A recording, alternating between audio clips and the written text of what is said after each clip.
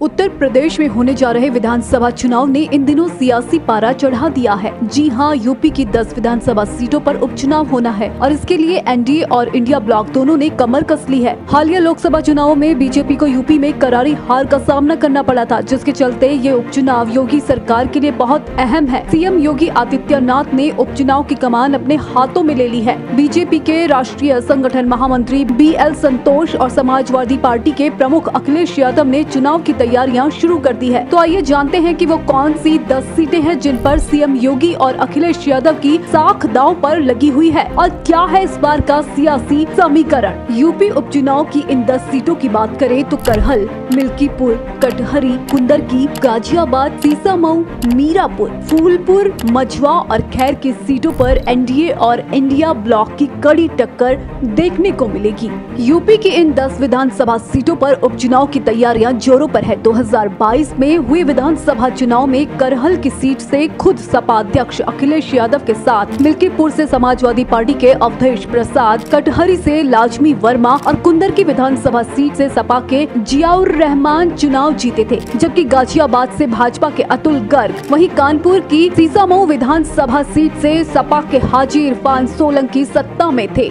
मीरापुर से रालौत के चंदर चौहान, फूलपुर की सीट से बीजेपी के प्रवीर सिंह पटेल, जबकि जबकि मझवा सीट से बीजेपी सहयोगी निषाद पार्टी के डॉक्टर विनोद बिंद जीते थे और खैर सीट से अनूप प्रधान वाल्मीकि विधायक चुने गए थे। ये भी खबर है कि करहल सीट पर अखिलेश अपने भतीजे तेज प्रताप को मैदान में उतार सकते हैं। इसके अलावा मिल्कीपुर और कानपुर का सीसामऊ भी सपा की मज़बूत सीटें रही है। एनडीए और इंडिया ब्लॉक दोनों ही गठबंधन पूरी ताकत झोंक रहे हैं, जिसके चलते बीते दिनों उन्होंने पंद्रह मंत्रियों की टीम बनाकर उन्हें उम्मीदवारों के चयन की ज़िम्मेदारी दी थी और फिर वो खुद भी चुनाव प्रबंधन की तैयारियों में जुट गए हैं। इससे पता चलता है कि वे इन चुनावों के लिए कितने संजीदा हैं। वहीं 12 साल बाद प्रदेश में जीत ने सपा अध्यक्ष अखिलेश यादव और उनके गठबंधन को उत्साहित कर दिया है और वो भी उपचुनाव की रणनीतियाँ बनाने के लिए अपने दफ्तर में जम गए हैं और अपनी जीत सुनिश्चित करने की पूरी तैयारी कर रहे हैं। उपचुनाव की तारीखों की घोषणा अभी नहीं हुई है, लेकिन दोनों गठबंधन अपनी पूरी ताकत झोंक रहे हैं।